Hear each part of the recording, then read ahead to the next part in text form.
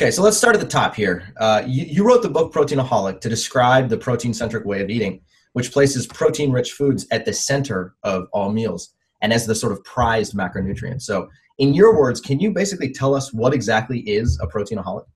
What's a proteinaholic? An American?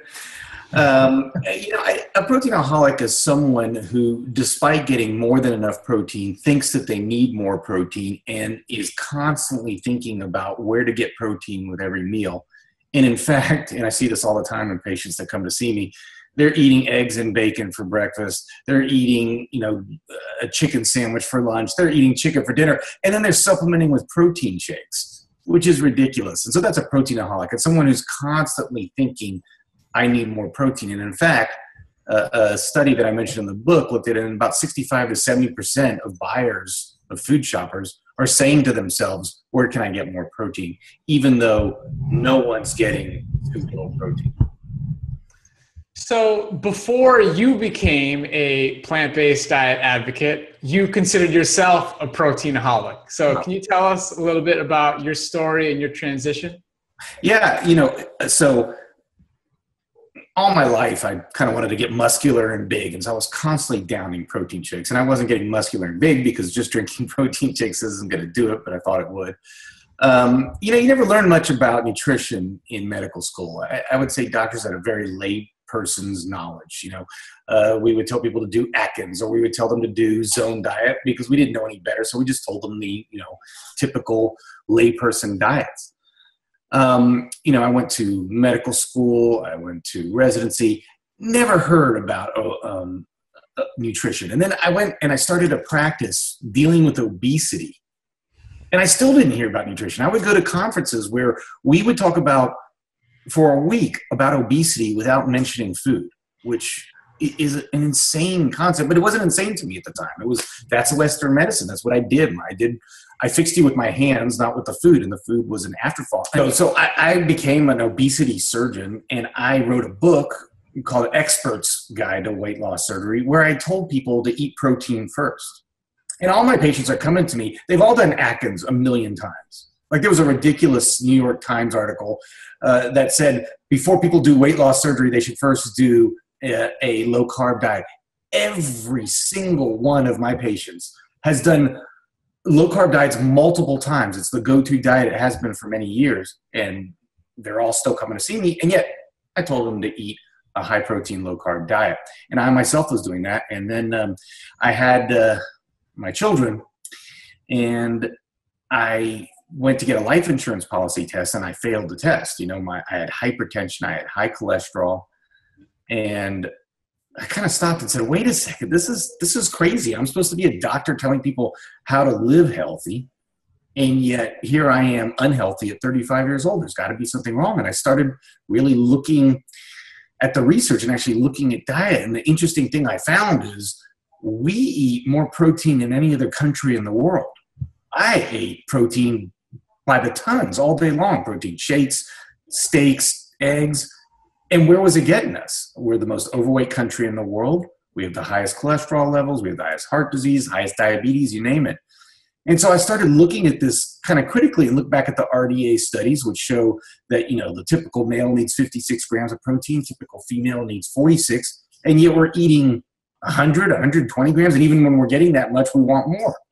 And that's when I started getting this concept that we're so and, and like I see it every day. You know, the patients come in and they're eating tons and tons of protein. And I say to them, well, why do you think you're gaining weight? And they say, it's the carbs. And I'm like, wait a second, there was no carbs in your diet. It was all protein. and, you know, and they're like, oh, well, yeah, I guess, but, uh, you know, they, my doctor told me to eat protein, so I'm eating protein. And then I put them on a diet and I tell them to eat an apple for a snack. And, you know, I get their diet log back the next week. There's no apples. So why did you eat at this point a beef jerky stick instead of an apple? It's like, well, because it had protein. And it's just, oh my God, this word protein has become so etched in people's brains and it's a huge marketing scheme. I mean, it, there was a great Wall Street Journal article on this that if something says protein on it, people want to buy it. Like if, if I put protein on the label, you're going to want it. And that's what a proteinaholic is. Okay, so this is actually really interesting because you know there's so many speakers in our in our summit that are sort of reiterating the same philosophy here, which is that protein is not the answer and fat is not the answer. Uh, and that you know eating a diet that's higher in its carbohydrate content is actually a much more effective way of eating for long-term health, especially for reversing diabetes. So let's where did this protein centric philosophy come from in the first place and why is it so ingrained in the way that we think right well you know there's many things that make it ingrained um, it started a long time ago. In the 1800s um, there was a professor who was looking at muscle tissue and skin and things like that and they found that in fact everything is made of protein. And so they figured to themselves, well, if everything is made of protein, we must need to eat protein. And they did this study where they were looking at workers on the Empire State Building, uh, and they were looking at what they ate in a day, and they were eating high protein. And so they said, okay, well, they're eating high protein. We must all need high protein, which is, you know, not a very good study, but that kind of started it. Then you start looking at things like the Atkins diet, which became really big. The thing about the Atkins diet is it, it will work and it will work for several reasons. First of all, you lose weight because you lose water weight. And second of all, you go into ketosis. You go into ketosis, you're not as hungry, you don't eat as much, you're going to lose some weight. You also lose muscle, which we know now, even though people think you eat protein and it doesn't make you lose muscle, but going into ketosis will make you lose muscle. Your sugars will go down with it. Your body will start utilizing fat. You're not eating carbs, so your blood sugar is not going up. And the problem is we've made diabetes into what is your blood sugar at any given time. But the disease process is not what your blood sugar is, at least in type 2 diabetes. The disease process is that your body isn't sensitive to insulin in type 2 diabetes. That's the disease process. The effect, the symptom, is the high sugar. And so everybody focuses on the sugar without realizing there's a disease process here. So you could cut all the sugar out of your diet, you can make that symptom level go down, but you're not fixing the central core issue, which is the insulin resistance. The insulin resistance is the true problem. And so that's why we see people who get their blood sugar under control and yet still get the side effects of diabetes. And there's been a lot of studies now that tight control of, of type 2 diabetes doesn't seem to lead to a decrease in the complications of diabetes. And that's because where the tight control of diabetes is tightly controlling the sugar but that's not the disease process so many people believe that dairy is a great source of high quality protein. How do we know that this is not the truth?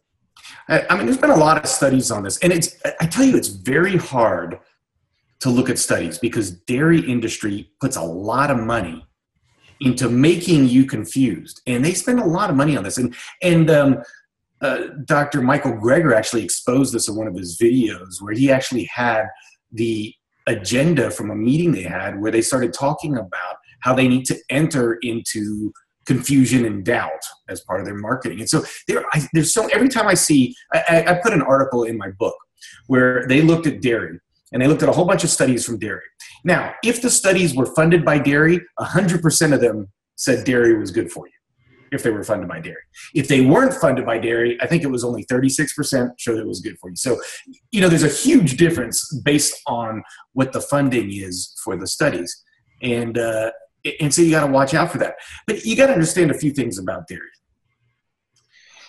most dairies are high in fat we know from certain studies that as soon as you eat dairy, you get an inflammatory response in your body. They did a great study where they fed people orange juice, water, or dairy. Again, this is in the book. And there was, you know, orange juice. Everybody says sugar causes inflammation. It doesn't.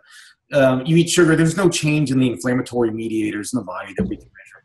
You give them water, obviously, no effect. You give them cream, right away, it shoots up. Now, why is that? We think it has to do with um, what's called endotoxins. Um, so you could pasteurize the milk and kill all the bacteria, but an endotoxin is a toxin that's in the bacteria. You might kill the bacteria, but that toxin's still in there. And it gets absorbed by the body and it creates an inflammatory response. And that inflammatory response is a big part of a disease process. Um, we also know that you know milk is relatively high in protein. It stimulates IGF-1. There was a great study recently showing an increased risk of prostate cancer, thought to be because of this uh, increased risk of uh, because this increase of this hormone IGF one when you eat milk. A really good Swedish study that showed women, the more milk they ate, the higher their risk of premature death. So there's been some really good long-term studies with it. There's been good short-term studies showing uh, increase in inflammation and problems with the way your blood vessel constricts and re- relaxes. Um, and uh, there's nothing in milk that you can't get um, from plant-based alternatives.